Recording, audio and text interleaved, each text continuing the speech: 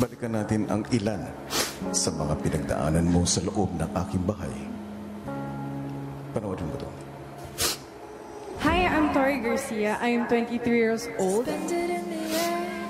Tori, sa iyong pagtawid sa aking bahay, ay baon mo ang kagustuhan mong matupad ang iyong pangarap. Ibibigay ko yung buong puso ko at saka gagawin ko po talaga yung best ko always and forever.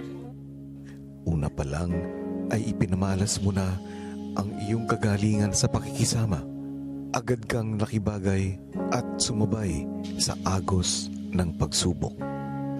Nang mabigyan ng pagkakataon upang mamuno, ay ipinamalas mo ang diskarte at determinasyon ng isang leader.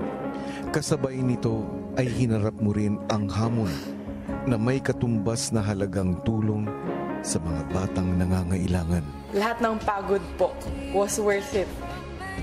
You will always shine through your kindness, Tori.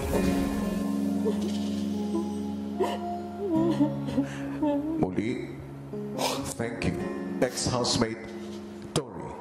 Thank you po, Kuya, sa lahat po. You did so much for me po, Kuya. Thank you po.